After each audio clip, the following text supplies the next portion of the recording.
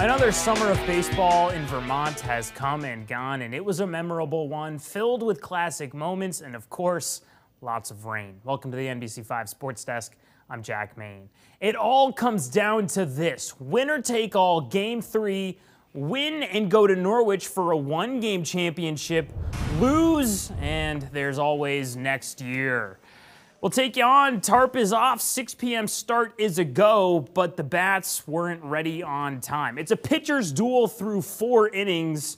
Neither team really getting the stick going. Just a few base runners through the first four innings, and then as you see, the rain starts to come down, so the tarp has to come out. Over two hours later, we're able to resume, and it's the Stowe native, Ben Alexson, pitching in the game of his career so far, and he was awesome.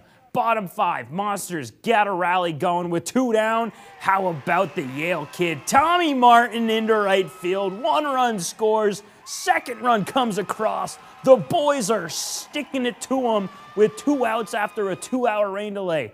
Next hitter, Trevor Cohen, high and deep to left center field. It finds some green.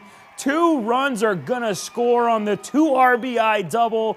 Monsters end up putting six in the final five frames, and they're on to their third straight FCBL championship with a 6 1 win over Worcester.